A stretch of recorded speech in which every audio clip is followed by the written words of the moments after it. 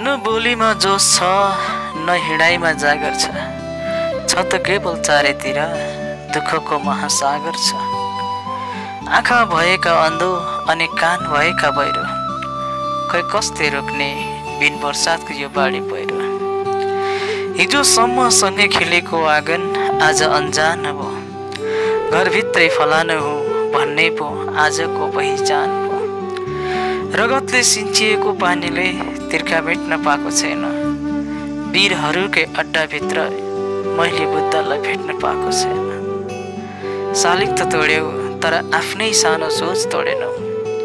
राजकै लागि सही मुलुकलाई एउटैमा किन जोडेनौ? पृथ्वीकै नारायण भएर नि आमाको सान राखेनौ।